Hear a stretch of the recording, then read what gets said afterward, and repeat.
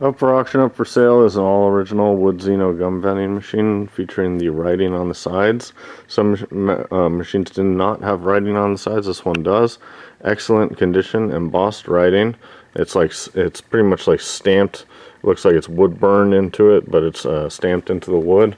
Uh, it's got an original front plate.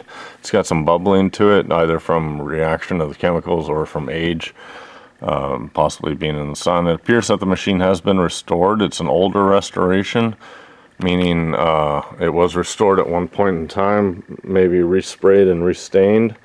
The wood is in excellent condition. Machine operates correctly on a penny. It says Zeno, patent August 1st, 1893, I believe. It's got the Zeno front plate on there. It says Patented August 1st, 1893, May 21st, 1895, July 15th, 1902, Zeno Manufacturing Company, Chicago. It's got the stamped Zeno wood plate down below.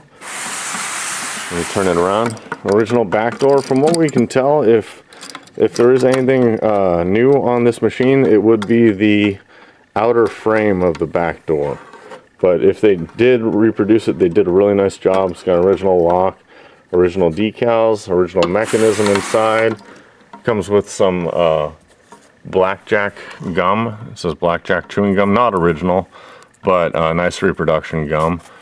Uh, wine key and the mechanism operates correctly. The magnet has been replaced.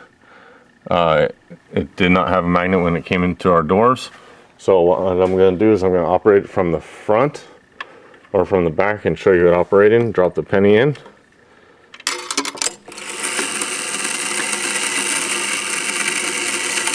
And you can see right around front where you would get a stick of gum right there.